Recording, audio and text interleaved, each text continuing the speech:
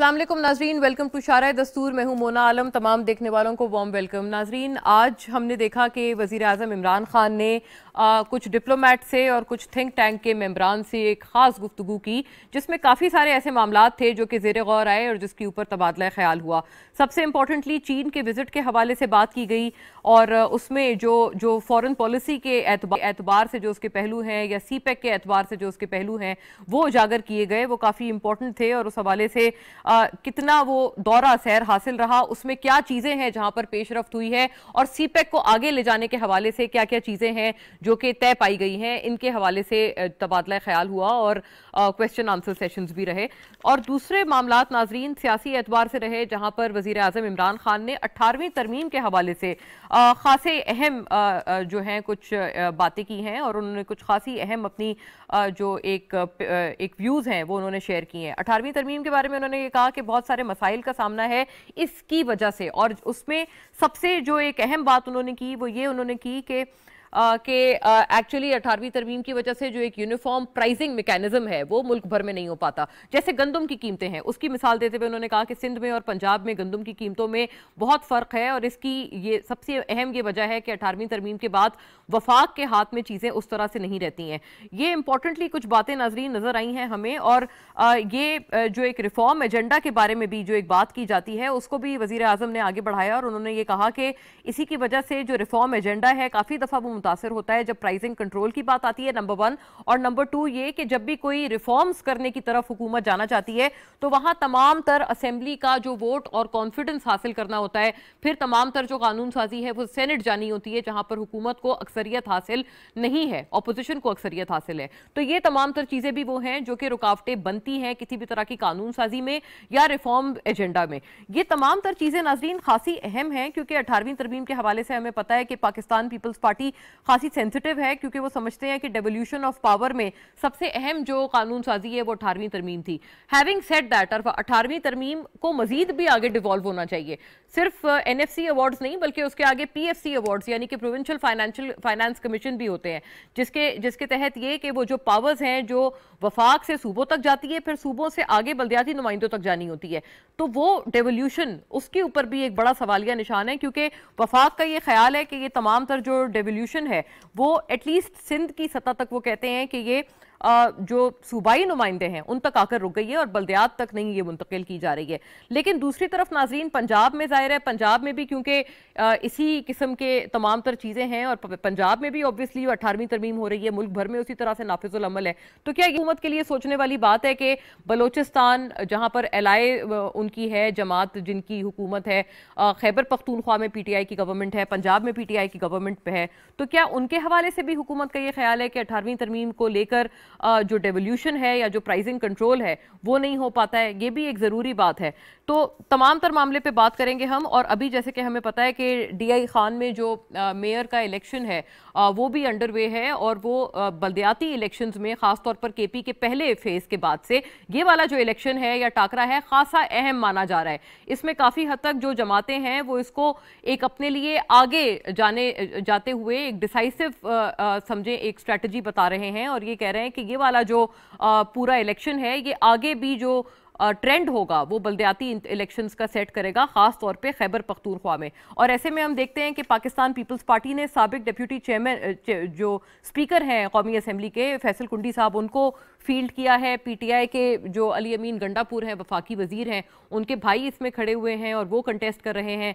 Similarly JUI तो क्योंकि पहले जो फ़ेज़ थे इलेक्शंस के, उसमें उन्होंने मैदान मारा था तो जे जे ने भी अपना इसी तरह से कैंडिडेट फ़ील्ड किया हुआ है। और अभी तक जो इब्तदाई इतलात आ रही हैं, उसमें यही है, जो अभी तक नतज आ रहे हैं, उसमें यह है कि पीटीआई आगे है सेकेंड नंबर पर जेयूआई है और थर्ड नंबर पर पाकिस्तान पीपल्स पार्टी है। तो इन मामला पर भी हम लोग रोशनी डालेंगे एंड ऑफकोर्स वज़ीर अजम की जो टॉक रही है और उसको सियासी मंजरनामे में आगे जाते हुए कैसे हम देखेंगे कि इस बातचीत से आगे जो सियासी मंजरनामा है, उसका एक डायरेक्शन या उसका एक जो, उसकी जो एक सिमत है वो तय होगी। तमाम मामले पे बात करने के लिए हमें जो ज्वाइन किया है मेहमानों ने उनका तारुफ कराती हूँ आपसे।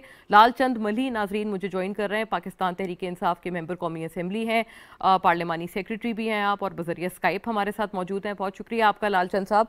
सैयद हसन मुर्तज़ा नाजरीन मुझे पाकिस्तान पीपल्स पार्टी से ज्वाइन कर रहे हैं। मेंबर सूबाई असम्बली पंजाब के पंजाब असम्बली के मेंबर हैं और पा, पा, पार्लिमानी लीडर भी हैं पाकिस्तान पीपल्स पार्टी के पंजाब असम्बली में। बहुत शुक्रिया आपका हसन मुर्तज़ा साहब। आपने भी हमें बजरिया स्काइप ज्वाइन किया है। और नाजरीन, जनाब आमिर ज़िया, सीनियर सहाफ़ी तजियाकार हमें ज्वाइन कर रहे हैं। आप भी बजरिया स्काइप हमारे साथ हैं और तमाम तर मामले पे हमारे साथ तजिया तबसरा अपना साथ रखेंगे। बहुत शुक्रिया आपका आमिर साहब। वेलकम ऑन बोर्ड और आप ही से अगर मैं बात का आगाज़ करूँ, आमिर साहब, थोड़ी डायरेक्शन दीजिएगा, फिर उसके बाद हम उस गुफ्तु को आगे ले जाते हैं।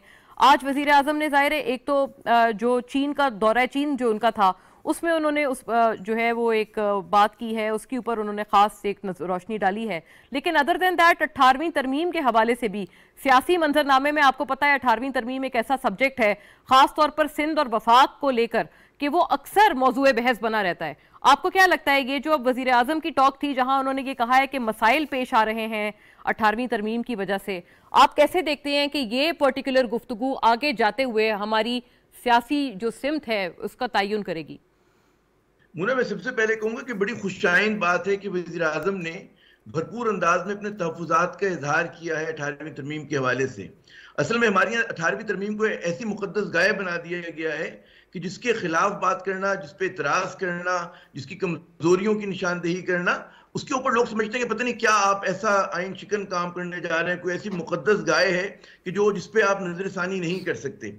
और गो कि अगर आप देखें कि पाकिस्तान में जो बहुत ज़्यादा ये जो अठारहवीं तरमीम हुई थी, इसमें आईने पाकिस्तान में सौ से ज़्यादा जो है तब्दीलियाँ लाई गई थी। आपके इल्म में होगा ये बात। आपके इल्म में ये बात भी होगी कि ये जो तिहत्तर के आइन की हम बात करते थे जुल्फ़ार अली भुट्टो साहब जो लेकर आए थे तो ये उनका आइन इतना मस्क हो चुका है और इसको जरदारी साहब का आइन कहना चाहिए, नवाज़ शरीफ साहब उसके अंदर दायरे किस तरह की उन्होंने ताउन किया था चीज़ों के लिए तो पूरा का पूरा उसको जो है मैं समझता हूँ तब्दील कर दिया गया है। अब ये वाली जो बात है कि बहुत सारी चीज़ें मरकज को उसमें इतना कमज़ोर कर दिया गया है कि आप जो है बहुत सारे इकदाम कर ही नहीं सकते। मसलन उन्होंने दूसरे प्राइसिंग की बात की, मैं समझता हूँ, जैसे तालीम का शोबा है। तालीम के शोबे में जब तक यकसा एक सिलेबस नहीं होगा, यकसा तालीमी निज़ाम नहीं होगा, लेकिन दायरे कि यहाँ पर हर जो सूबा है अपनी डेढ़ इंट की मस्जिद बनाता है।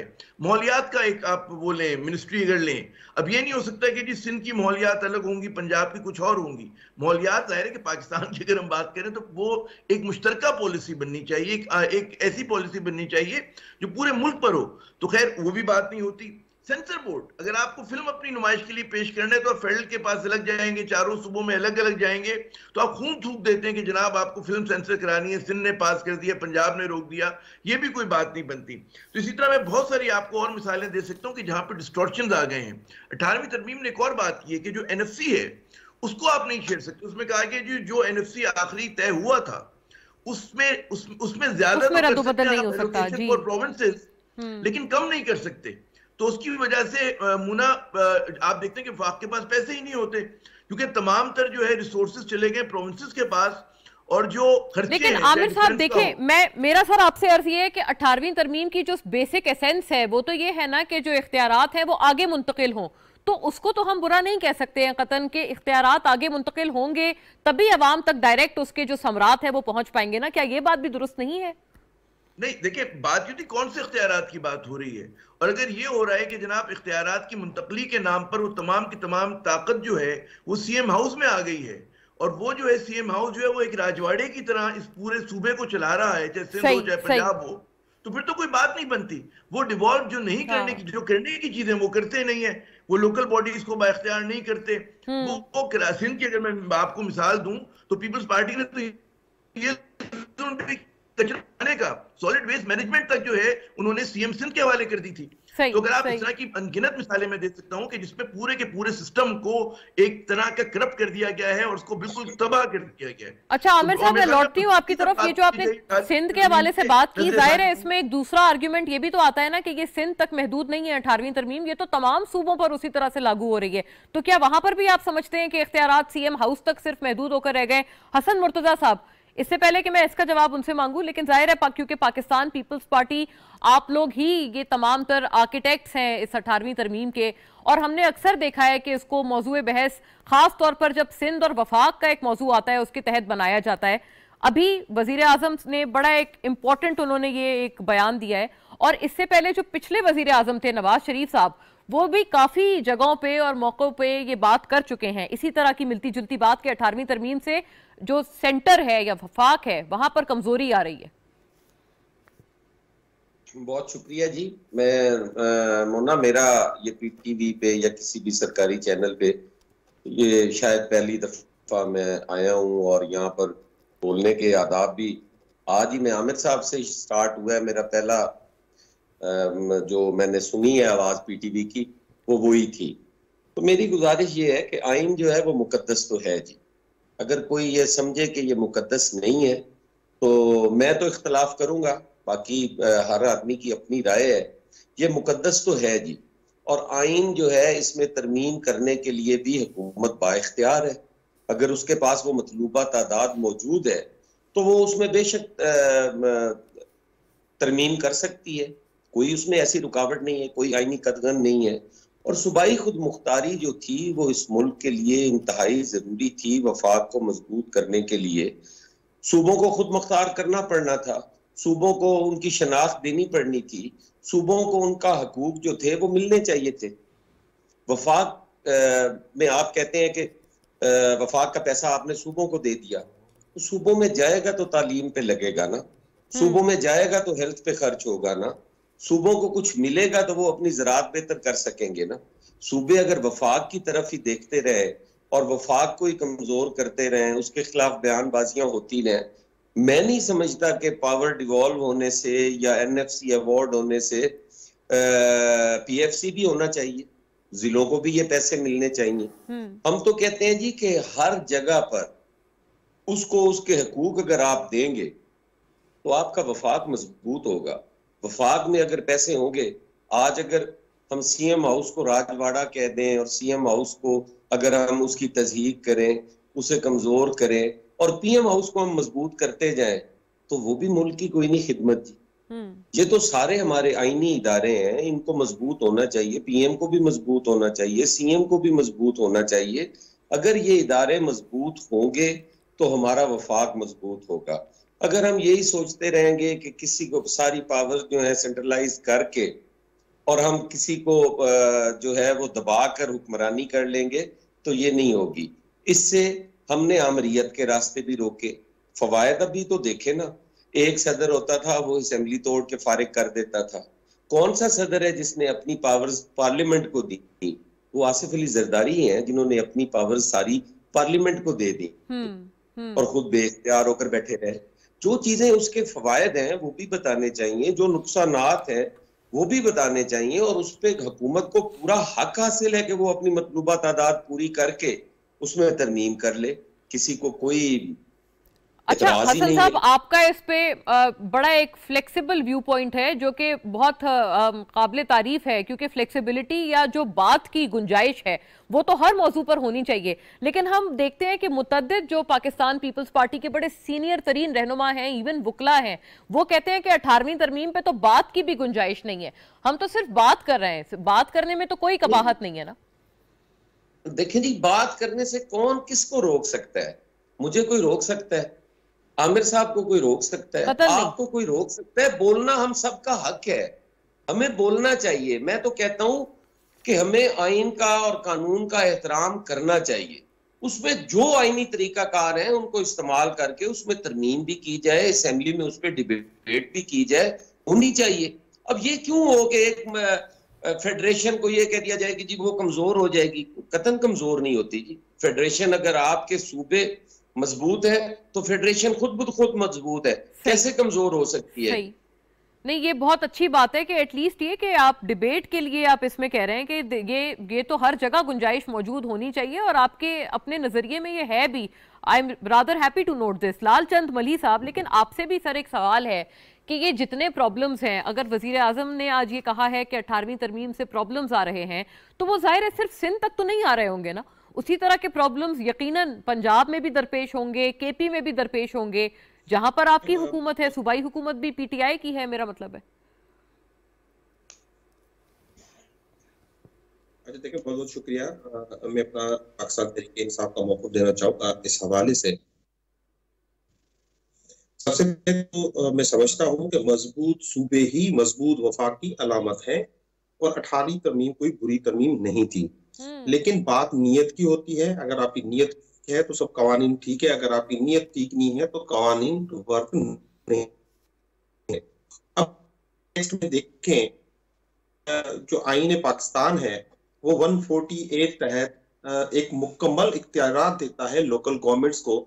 और आपने देखा कि सिंध गवर्नमेंट में ने जो लोकल गवर्नमेंट का ला लिया ही सिंध गवर्नमेंट उस पर पूरी अपोजिशन जो है उसके खिलाफ खड़ी हो गई।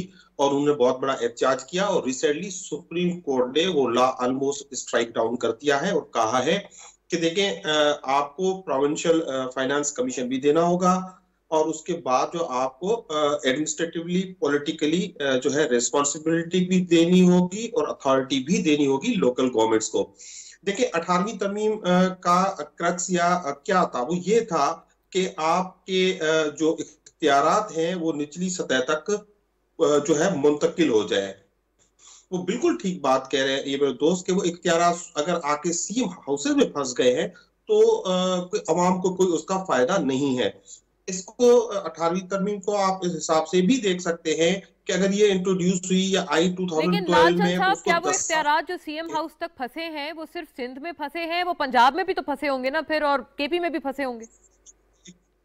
पे होता है मैं सिंध की बात नहीं कर रहा ये देखिए, ये तो अलग बात है ना कि ये इतफाक है कि अगर पंजाब में और सेंटर में एक ही पार्टी की हुकूमत है तो उस वहाँ पे प्रॉब्लम्स कम होते हैं। और जहाँ पे एक एक अलग आपकी मुखालिफ पार्टी, देखिए सपोज़ फॉर एग्जांपल कि देखिए, अगर मुल्क में महँगाई है तो उसका सारा जो मलबा गिरता है तो वो तो वफाकी हुकूमत में गिरता है, जो भी सर्विस आते हैं। लेकिन अगर प्रोविंशियल गवर्नमेंट है उसको अगर प्राइसेस कंट्रोल करनी है और अगर वो कंट्रोल नहीं करते they fail to control it तो उसका जो जो नुकसान भी फेडरल गवर्नमेंट को होता है। सो लिहाजा अठारहवीं तरमीम में इश्यूज़ है। देखिए आईने पाकिस्तान में इश्यूज़ है ना बेसिकली 1973 का, मैं भी कहता हूँ सेक्रेट डॉक्यूमेंट है। हमने उसके तहत हल्फ लिया हुआ है। लेकिन वही आइन एंटाइटल करता है हम सबको और पार्लियामेंट को कि वो उसको, उसमें एक मखसूस तरीके से उसमें अमेंडमेंट्स ला सकते हैं। तो अठारहवीं तरमीम अच्छी तरमीम हो सकती है, लेकिन उसके साथ साथ कुछ ऐसे इश्यूज़ हैं जो यकीनी तौर पे फेडरल गवर्नमेंट समझती है कि जैसे आपने पिन पॉइंट किया है इंडिकेट किया है, जैसे नेशनल सिंगल करिकुलम आया है तो सिंध उसको एक्सेप्ट नहीं कर रहा है, बाकी प्रोविंसेस में वो इम्प्लीमेंट हो रहा है। डेफिनेटली सिंध को, क्योंकि डिवॉल्व सब्जेक्ट है तो उसके, उनके जो जो भी हो, जायज़ हो सकते हैं, लेकिन आपकी इम्प्लीमेंटेशन नेशनल लेवल पे फिर चीज़ों की हो नहीं सकती। तो सिंक्रोनाइजेशन की ज़रूरत है, कुछ लॉज ऐसे हैं जो ऐसा होना चाहिए कि उनका कोई कंफ्लिक्ट ना हो पैदा फेडरल गवर्नमेंट या तो फिर एक ही पार्टी की हुकूमत आती है तो फिर इस तरह के इशू नहीं होते। डिफरेंट पार्टीज़ की हुकूमत आती है तो इश्यूज़ होते हैं। बाय तो आप, आपका यही क्लियर मतलब है कि ये क्योंकि सेम पार्टी की हुकूमत है वफाक और दीगर जो केपी या पंजाब में इसलिए वहाँ उस तरह के इशूज नहीं है लेकिन तो फिर तो ये पोलिटिकल एक रिफ्ट हो गया ना पोलिटिकल रिफ्ट है दरअसल। यानी कि फिर उसमें कानून में ऐसा आप कहते हैं कि कोई कबाहत नहीं है। पोलिटिकल रिफ्ट है। सबसे ज़्यादा इसमें मैं ज़िक्र कर रहा हूँ तो वो लोकल गवर्नमेंट्स का कर रहा हूँ। आजकल आपने जैसे ज़िक्र किया केपी में भी लोकल गवर्नमेंट चल रहे हैं पंजाब में भी होने वाले हैं सिंध में भी होने वाले हैं जिसके तहत जो है आवाम तक यानी निचली सतह तक इख्तियार जाएँगे।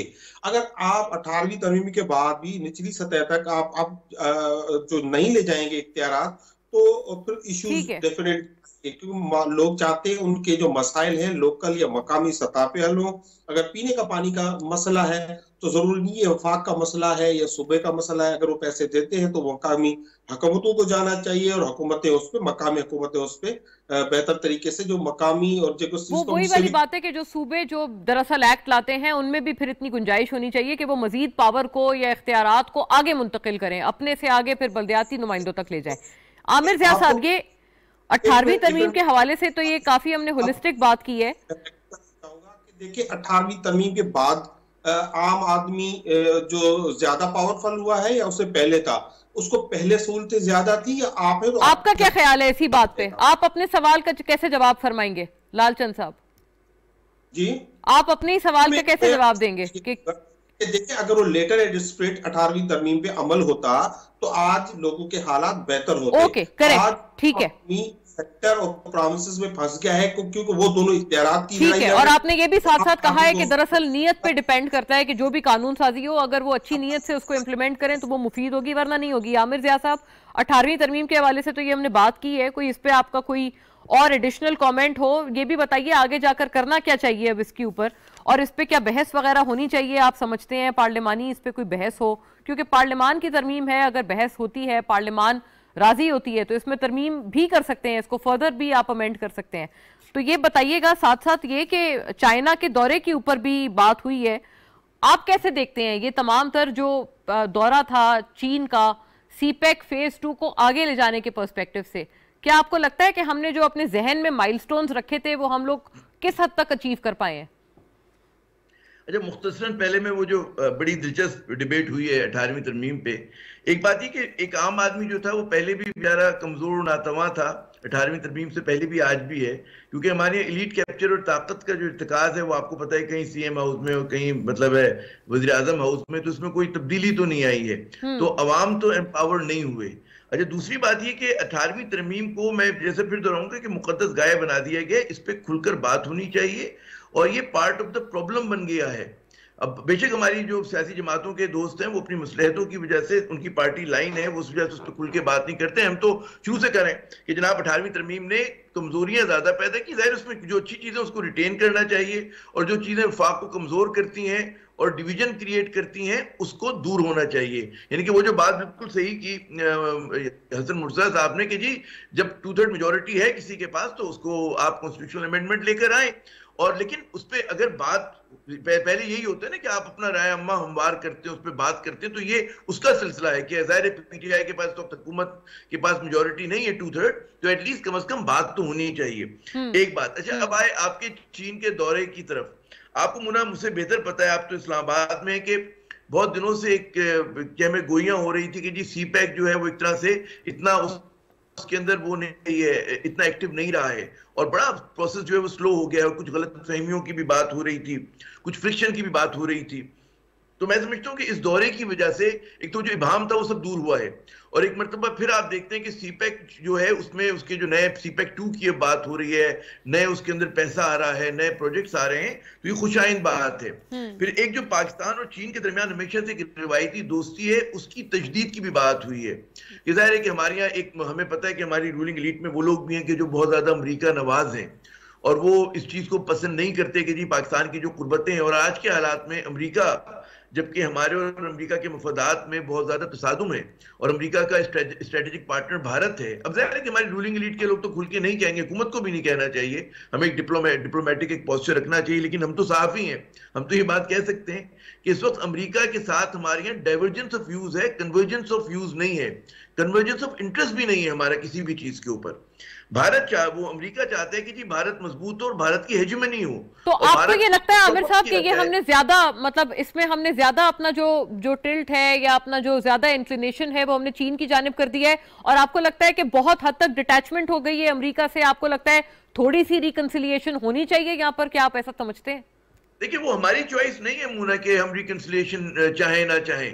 अगर हमारे अगर रिकन्सिलेशन का मतलब ये कि पाकिस्तान के कौमी मफादात का सौदा हो और हम हम चीन के खिलाफ इस्तेमाल हो तो ये ये तो कोई रिकन्सिलेशन अमेरिका के साथ नहीं हो सकती। आपको लगता है कि रिकन्सिलेशन की यही खत्ते में रिकन्सिलियेशन का यही मतलब होगा अगर हम लोग अमेरिका से बात करते हैं तो आपका लग, ये इसमें इसमें टेक है कि वो चीन के हवाले से हमें एक तरह से डिसाइड करना पड़ेगा कि इधर देम और देम जी, देखिए, अमेरिका की ब्रिंकमैनशिप है। अमेरिका तो दुनिया भर में मतलब है जंगे मुसलत करता है। वो तो हमेशा से डिक्टेट करता है। वो जमहूरियत अपनी एक्सपोर्ट करता है, इंसानी हकूक का तस्वूर एक्सपोर्ट करता है।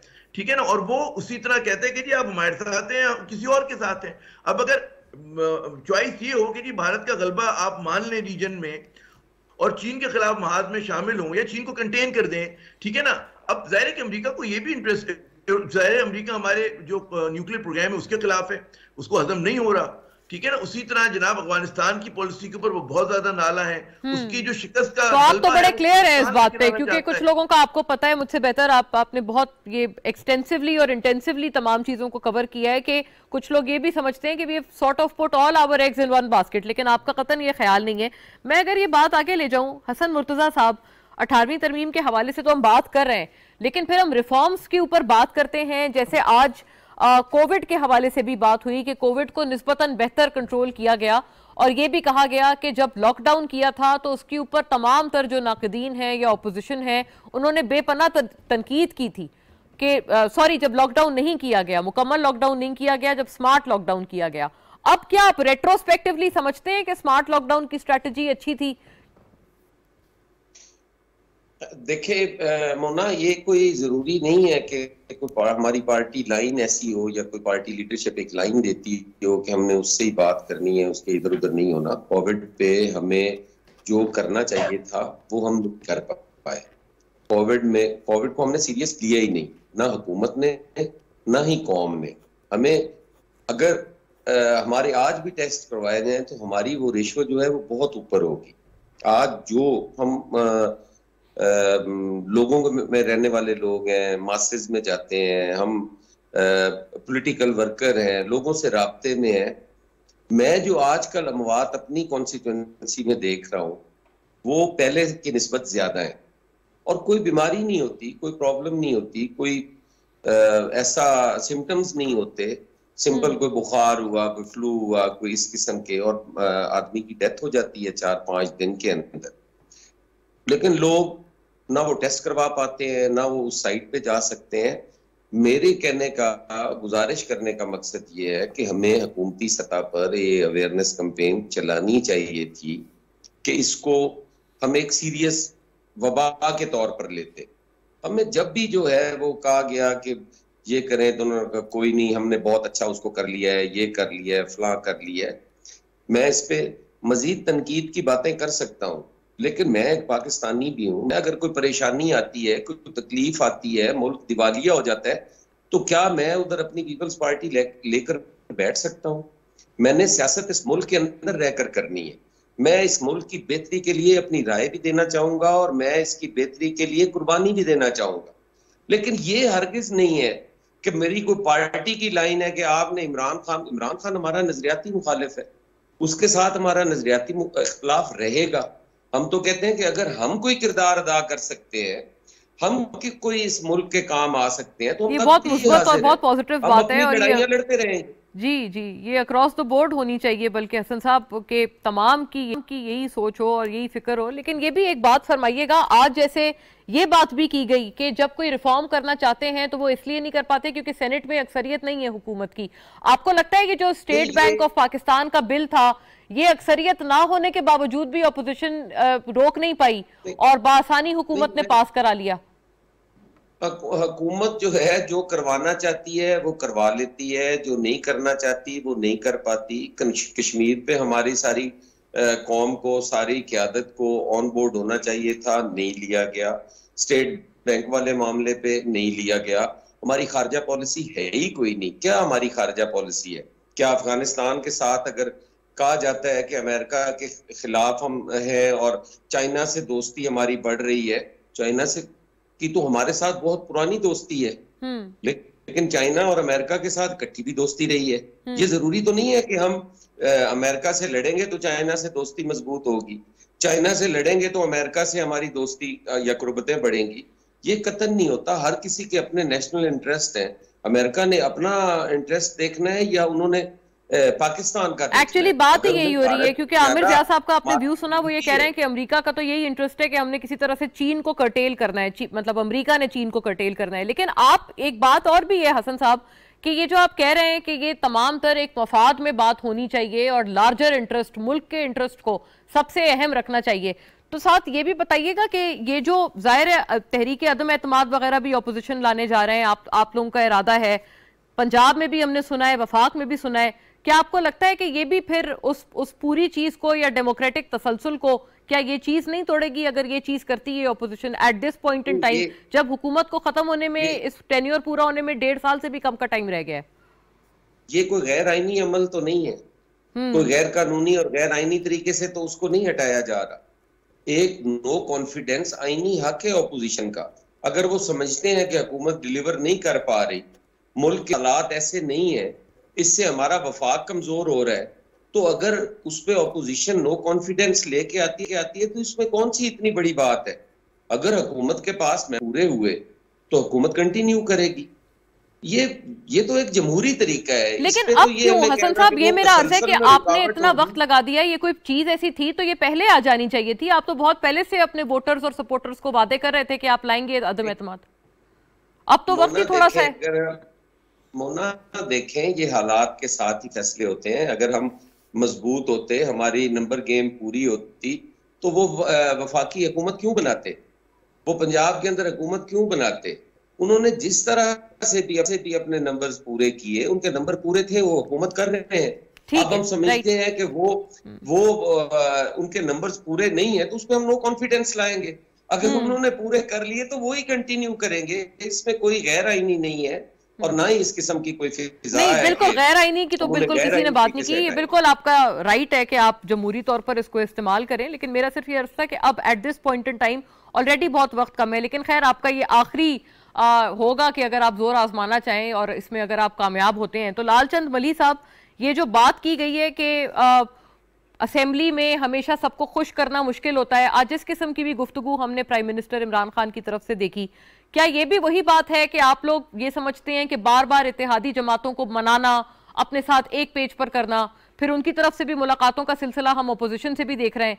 तो क्या आप आप भी एक तरह से ये समझ रहे हैं सेंस कर रहे हैं कि हुकूमत वाजे तौर पर कह रही है कि आपको मुश्किल दरपेश आ रही है इतिहादियों को हर दफ़ा साथ मिलाने में, रखने में, उसमें रिफॉर्म्स उस तरह से नहीं हो पा रहे हैं जैसे कि आप चाहते थे? मोना देखें आपने तीन चार चीज़ें अभी डिस्कस की हैं। एक फॉरेन पॉलिसी आपने देखा कि ये जो चाइना का जो रिसेंट विज़िट था ये बहुत ही वार्म था और बहुत ज़्यादा जो है सक्सेसफुल हाँ। रहा। कोई बीस जो है इंटरनेशनल जो चाइनीज़ कंपनीज़ थी उनके साथ वायदात हुए हैं एमओयू साइन हुए हैं। वज़ीर और प्रेसिडेंट से उनकी इमरान खान साहब की मुलाकातें हुई हैं उनके काउंटर पार्ट से मुलाकातें हुई हैं। एग्रीकल्चर में इंडस्ट्री में और साइंस एंड टेक्नोलॉजी में एमओयू साइन हुए तो एक बहुत बड़ा कामयाब दौरा रहा। आज प्राइम मिनिस्टर ने खुद कहा है कि हमारी किसी से, मुल्क से कोई दुश्मनी नहीं है। हम अपने मुल्क के मुफादात के लिए उनको गार्ड करने के लिए सबसे अच्छे ताल्लुक चाहते हैं।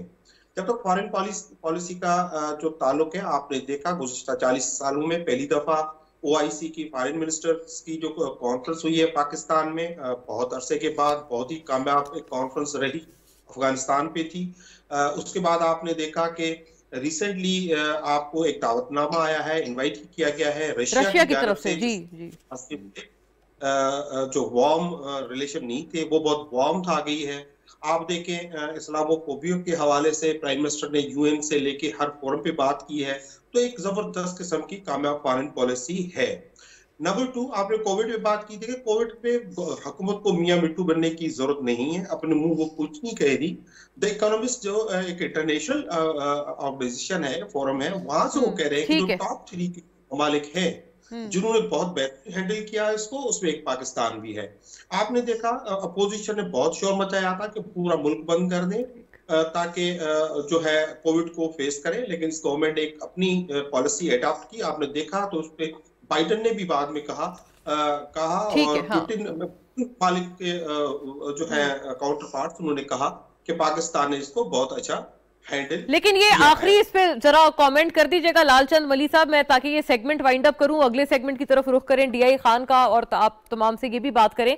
आखिरी ये बात कर दें कि इतिहादियों के बारे में जो मैं आपसे गुजारिश कर रही हूँ जो मेरा प्राइमरी सवाल था क्या आपको सेंस हो रहा है कि हुकूमत को एक्चुअली मुश्किल दरपेश आ रही है कि आपको बार बार उनको साथ मिलाना पड़ता है और अपोजिशन से भी अब रबते बढ़ रहे हैं आपके इतिहादी जमातों के।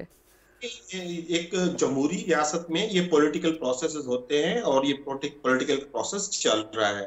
लेकिन हम समझते हैं कि अपोजिशन एक सिर्फ़ व्यू कर रही है। अपोजिशन एक जो है शोर मचा रही है ना उनके पास स्ट्रेंथ है ना उनके पास रिक्वायर्ड नंबर है ना ही वो नो कॉन्फिडेंस ला सकती है। यानी रिक्वायर्ड नंबर भी नहीं है आपको लगता है आपके इतिहादी इंटैक्ट हैं सारे?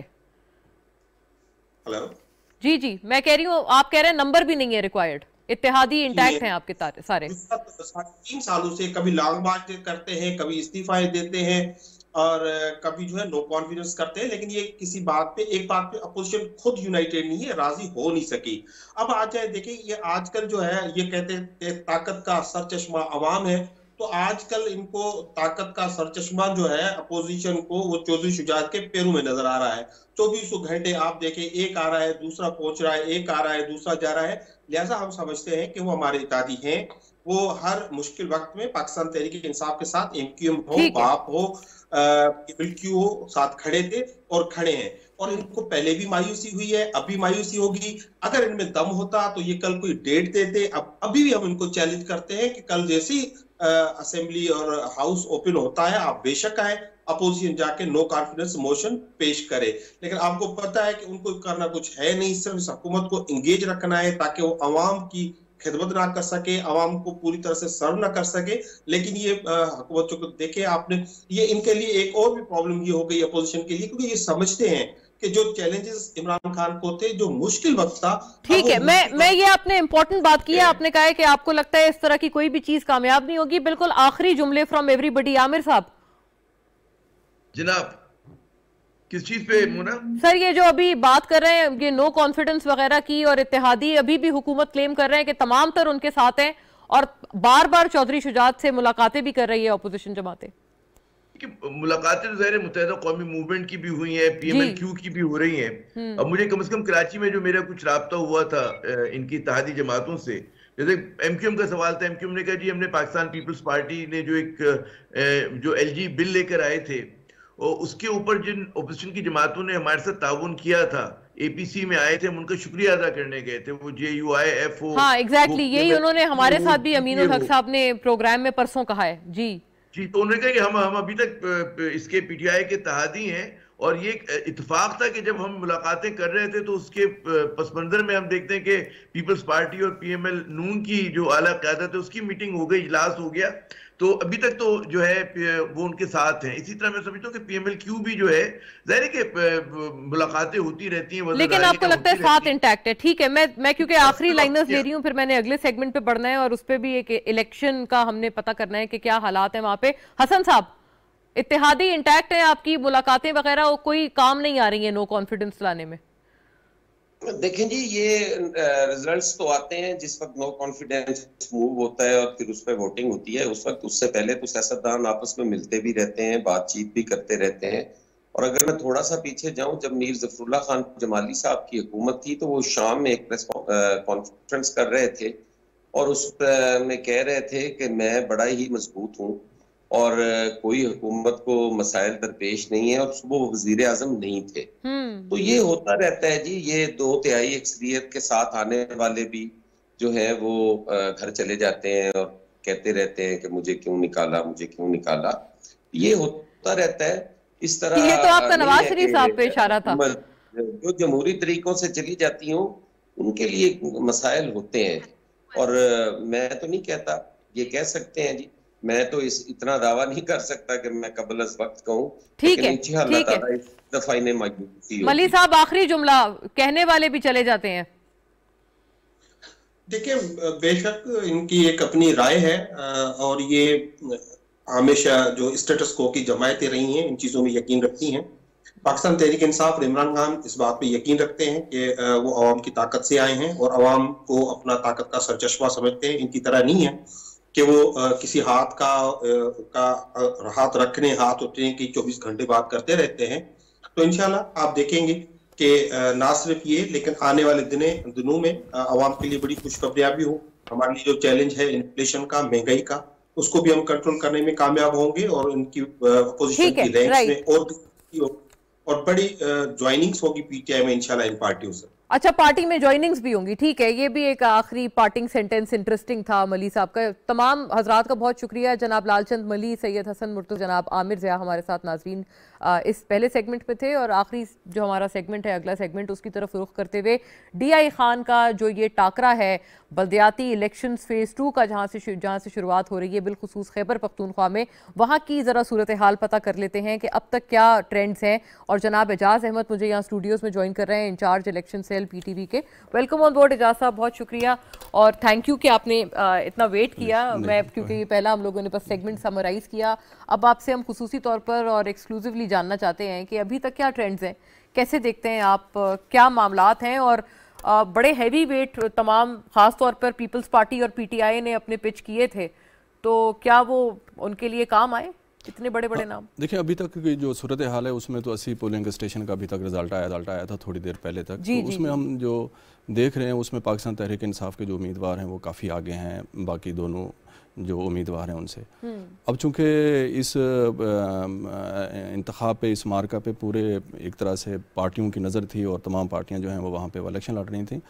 एक लिहाज से हम अगर देखें तो इसमें पाकिस्तान तहरीक इंसाफ के खिलाफ दीगर तमाम पार्टियाँ जो थी वो एक इतिहाद बना चुकी थी। जैसे नून लीग का तो बजाबता इतिहाद है इसमें पीडीएम देखें पीडीएम का जो है वो सारे का सारा वो एक तरह से। मुतफिका उम्मीदवार हैं जो जे यू आई ए के जो उम्मीदवार हैं इसी तरीके से पाकिस्तान पीपल्स पार्टी के जो उम्मीदवार हैं उनको ए एन पी की पूरी मुकम्मल सपोर्ट हाँ। हासिल है और ए एन पी ने अपना वहाँ पर उम्मीदवार भी खड़ा नहीं किया और वो भी आपस में एक तरह एक, से है ये। लेकिन उसके यानी कि एक तरह से हम देखें कि जो पाकिस्तान तहरीक इंसाफ की तरफ़ से कहा जाता है कि तमाम सियासी पार्टियाँ एक तरफ़ होती हैं और पाकिस्तान तहरीक इंसाफ एक तरफ़ होती है तो हमें यहाँ डेरा इसमाइल खान की मेयर सिटी की में जो हमें ये बात दुरुस्त नज़र आ रही है हाँ।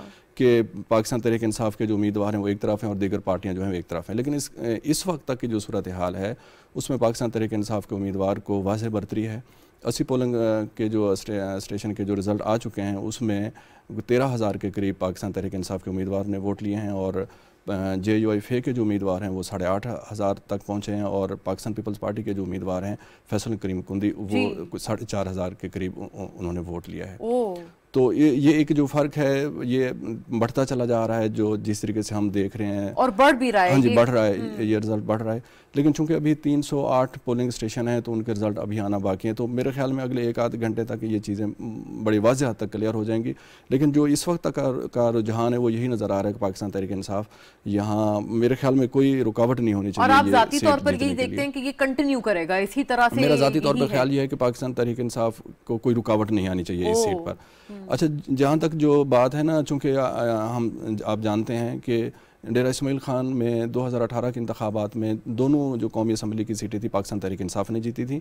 लेकिन ये जे यू आई फे का गढ़ है चूँकि मौलाना फजल रहमान ने दो दोनों सीटों पर कौमी असम्बली की इलेक्शन लड़ा था। वो दोनों सीटें वो हार गए थे। अच्छा अभी भी हमने ये ट्रेंड ये देखा है कि खैबर पख्तूनख्वा के जो सत्रह अजला में इलेक्शन हुआ उसमें बहुत सारे अजला जो तहसीलें हैं उसमें चेयरमैनशिप उनके हिस्से में आई है जे यू आई फे के। लेकिन डेरा इसमाइल ख़ान में की जो छः तहसीलें हैं जिन पर चेयरमैनशिप का इनका हो चुका है हम्म। उन्नीस दिसंबर को उसमें जे यू के पास कोई सीट नहीं है हम्म। चेयरमैनशिप की कोई वो सीट हासिल नहीं कर सकी इसलिए वो उनका पूरा ज़ोर था कि किसी तरीके तो से ये वही पुराना ट्रेंड अभी भी कंटिन्यू जी जी वो जो हम्म। पहला मरहले का जो जो था वो वही आ रहा है लेकिन इसमें उन्होंने कोशिश बहुत की है कि एक ऐसे उम्मीदवार को लाया जाए जो सबके लिए मुतफिक हो और उस पर वो फोकस उन्होंने किया हुआ था और वहाँ बड़े बड़े जलसे भी हो रहे थे और जलसों के दौरान हमने ये देखा कि पाकिस्तान तहरीक इंसाफ के ख़िलाफ़ जो है या उनके जो जो उम्मीदवार थे उनको काफ़ी मसाइल का सामना रहा। कभी वो नाहल करार दिए जा रहे हैं कभी वो उनके साथ वो तो वो फोकस एक तरह से एग्जैक्ट हाँ, तो इस तरह से हम देखें कि उनका फोकस जो है वो मेरे ख्याल में वो खासा मजरू हुआ है कि उनको वो उस तरीके से जो वो वो नहीं कंपेन को तरीके से चला सके। लेकिन जैसा कि अभी थोड़ी देर पहले असद उमर साहब फरमा रहे थे कि अगर नतीजा देखना है तो डेर इसमाइल खान का देखा जाए। तो मुझे जो इस वक्त की सूरत हाल है तो मेरा ख्याल है अच्छा एजाज साहब एक ज़रूरी सवाल है। ये कि पहला जो मरहला था आपको पता है केपी का उसमें बिल्कुल पीटीआई ने ये तो नहीं की थी वो वाले नतज आए और उस पर पार्टी ने बड़े सख्त किस्म के एक्शन लिए सारी तंजीमी ढांचा उन्होंने डिजोल्व कर दिया नई तंजीमें बनाई सब कुछ बहुत मतलब बड़े पैमाने पर रद्दबदल हो गया। अब अगला जो है मरहला जिसका आगाज़ आप समझें कि इस इलेक्शन से हुआ है उसका क्या ट्रेंड देखते हैं आप? हाँ अब देखें कि जो पहला मरहला था उसमें जो बात सामने आई थी वो टिकटों की तकसीम के हवाले से सामने आई थी। हम्म। अब चूँकि बड़े बड़े इल्ज़ाम लगे थे। लगे थे और उसमें जो आज़ाद उम्मीदवार थे जो जीते थे ज़्यादातर जगहों पर वो वो लोग थे जो पाकिस्तान तहरीक इंसाफ के नाराज़ कारकुन थे जो आज़ाद उम्मीदवार के तौर पर सामने या वो पहले नंबर पर है या फिर दूसरे नंबर पर है। हम्म। अब चूँकि ये अगले मरहले में पाकिस्तान तहरीक इंसाफ की तरफ़ की क्यादत की तरफ़ से ये गलती नहीं दोहराई जाएगी तो मैं मैं सिर्फ़ इस इलेक्शन को डेरा इसमाइल खान के इस जो सिटी मेयर का जो इलेक्शन है इसको सिर्फ़ मैं अगले मरहले के लिए नहीं मैं मेरा ज़ाती तौर पर ख्याल है कि इसको हम अगले इंतबात के हवाले से भी हमें देखना चाहिए। 2023 के हवाले से आप इसको क्योंकि इसमें आप बड़ा ट्रेंड सेटर आप समझ रहे हैं। मैं इसलिए कह रहा हूँ कि डेरा इसमाइल खान की इस शहर की नशस्त पर तमाम सियासी जमातें पूरा ज़ोर लगा रही हैं। अच्छा ये एक होता है ना कि भी जैसे दीगर अजला में हुआ या दीगर तहसीलों में हुआ कि जो क्यादत है जो अहम लोग हैं वो इलेक्शन नहीं लड़ रहे थे। हम्म। लेकिन यहाँ पे आप देखें कि फैसल कुंडी जो है वो पाकिस्तान पीपल्स पार्टी के डिप्टी स्पीकर रहे हैं और एक बड़ा एक नाम है वो। नाम। अच्छा इसी तरीके से जे यू आई जो है वो भी मुकम्मल उन्होंने भी एक अहम वो उम्मीदवार वहाँ पर दिया है। तो चूँकि सियासी जमातों का एक पूरा उसमें फोकस रहे फिर दूसरी तरफ़ आप देखें कि पाकिस्तान की सतह पे पंजाब की सतह पे आप देखें कि पीडीएम जो है वो मुतहरिक नज़र आ रही है और वो तहरीक अदम अतमाद की बातें कर रहे हैं और मुलाकातें कर रहे हैं। जैसा कि अभी आप पहले सेगमेंट में भी आप लोग ये बातें कर रहे थे। हम्म। तो ये एक एक एक इस इलेक्शन से पहले एक ख़ास यानी कि इस आज के इस इलेक्शन से दो तीन दिन पहले ख़ास किस्म का एक माहौल क्रिएट किया गया पूरे पाकिस्तान में बिलखसूस पंजाब में पाकिस्तान तहरीक इंसाफ के हवाले से कि बातें होना शुरू हो गई।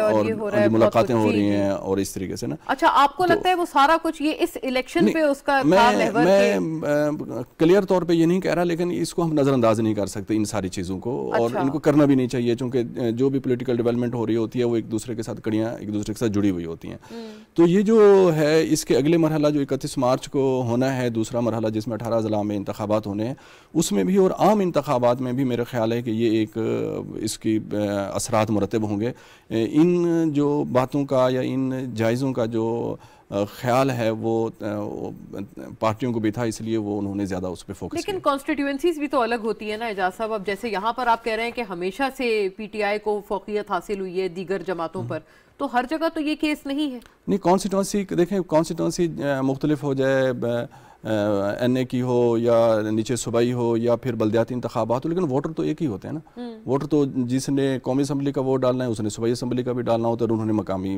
चुनाव यही मेरा अर्ज़ है कि अगर कोई ऐसी जगह है क्योंकि आप कह रहे हैं ना कि ये आगे आम इंतबात के लिए भी ये ट्रेंड सेटर हम्म। होगा तो हम्म। मैं इस सेंस में आपसे अर्ज़ कर रही हूँ कि वो तो फिर एक ये जी जी इसमें हम हाँ नहीं मेयर का इलेक्शन एग्जैक्टली मैं एक का है लेकिन हम अगले आम इंतबात हाँ में तो सारी पाकिस्तान भर सारे पाकिस्तान भर की होती है हम के पी के चूँकि तनाजुर में ये सारी खैबर पख्तनखा के तनाजुर में ये सारी बात कर रहे हैं।